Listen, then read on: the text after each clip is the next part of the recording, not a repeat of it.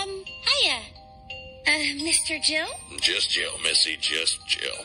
I thought it might be a last name. Have you been living here long? Yeah, since I retired, I stay here and guard the tomb. Are you, are you Kane's Gramps?